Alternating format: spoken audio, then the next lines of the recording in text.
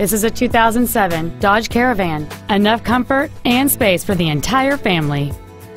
Among the many superb features on this Dodge there are power windows, cruise control, a CD player, interval windshield wipers, and this vehicle has just over 42,000 miles. It features a 3.3-liter six-cylinder engine and an automatic transmission. Stop by today and test drive this minivan for yourself.